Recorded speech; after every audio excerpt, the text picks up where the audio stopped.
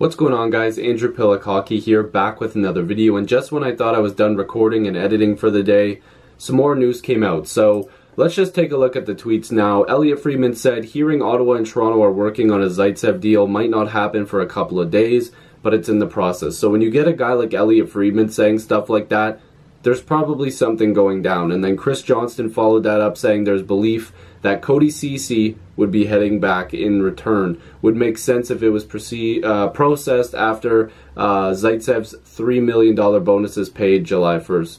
Um, I mean, Zaitsev, not very great. Uh, Cody Ceci might uh, be a little worse defensively. Now, I know a lot of people will probably hear me say that and think that's ridiculous, but hear me out. This is where the pros and the cons are for both teams. So, Nikita Zaitsev, we know what he what he's about. Okay, so his contract right now, four point five million dollars, uh, and it's still got, uh, including this year, one, two, three, four, five years left in the deal. So uh, it's not exactly a great contract. he doesn't put up very many points. Like last year, he had fourteen points uh, in 81 games. He's not supposed to be a point machine, but in his rookie season, when he had 36 points, everybody looked at him and thought, okay, the Leafs have something here. They have a guy that can play in the top four. Now, I think a lot of people are a little bit misunderstood when it comes to Zaitsev, too, though. Like, as much as he makes a lot of mistakes, he does chew up a lot of minutes and he does chew up some penalty kill time.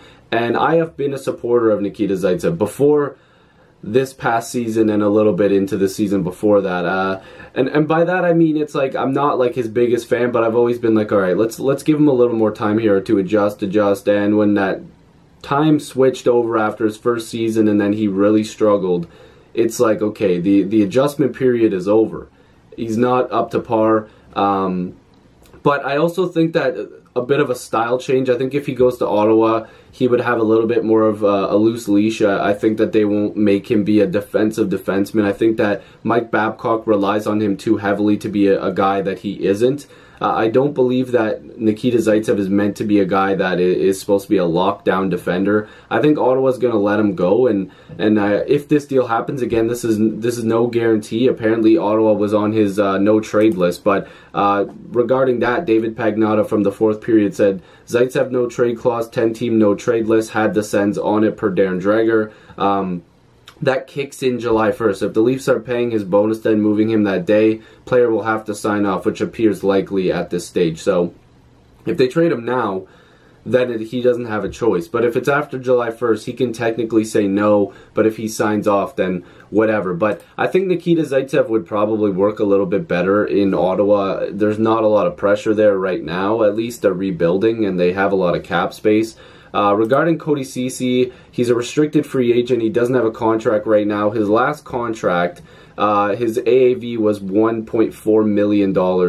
Um, uh, I believe that was his AAV. Yeah, his AAV uh, switched a little bit over the years. It got a, a little bit less after the first season. Um, but yeah, no, his his AAV right now is 1.4 million dollars. Um, what what was his? Okay, wait, no, this isn't accurate. Hold on. Okay, so sorry, his AAV was $4.3 million last season. That is very expensive. And, it, and if the Toronto Maple Leafs want to uh, hold on to him, and he has arbitration rights, so if the Toronto Maple Leafs want to hold on to Cody Ceci and they're going to pay him that much, that's ridiculous. Uh, again, that cap hit, hit could go down. The Leafs might also flip Cody Ceci somewhere else if this trade happens. Again, it's not a guarantee. Sorry for the mix-up with AAV. That was his um, his AAV in the 2012-2013 season. I was scrolled at the wrong spot. Uh, but this past season, his AAV was 4.3 million dollars, and he doesn't chew up the same type of minutes that Zaitsev does, I believe. And if he does, he he's not very good defensively. But he had 26 points in 74 games last season, so an improvement in points. But he was a minus 22. Again, plus minus doesn't really matter that much. But if you look at like his defensive metrics and his offensive metrics, five on five, he is absolutely brutal. Like he is not good at all. And then on the power play, it's it's much of the same. Like he's not very good defensively and offensively he can chip in here and there, but he nowhere near you know his potential. He's a former first round draft pick. And uh, yeah, he's not he's not very good defensively. He gives up the puck. He gets cup, uh, caught puck watching a lot some things that Zaitsev does too. But the thing here is the Leafs can go one of two ways. and it's a bit of a risk. If you trade for Cody Ceci and you can't get a deal that's cheap because the Leafs don't want to pay him that much money, the Leafs are going to flip him somewhere else for another defenseman because Cody Ceci is 25 and can put up some points. If you can trade Zaitsev, you can trade Cody Ceci.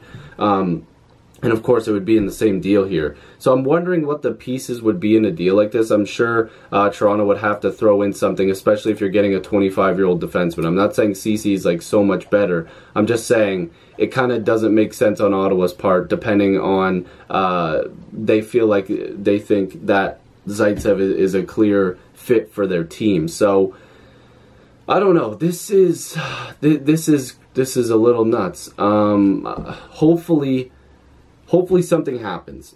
Hopefully something happens in the next in the next couple days. I doubt this is going to happen now. I'm I'm a little speechless because I don't know where the Leafs would go with this. It, it's a little confusing, but let me know what your thoughts are down below. I'm wondering if the Leafs are okay with just trading for Ceci, flipping him, and then signing another cheaper defenseman that may be a little bit more defensively sound than him. So Again, we'll have to see. Make sure to subscribe. I'd love to have more hockey conversations with you. Join the squad. Let's get to 6,000 subscribers. I'll see you in the next video or stream. Peace.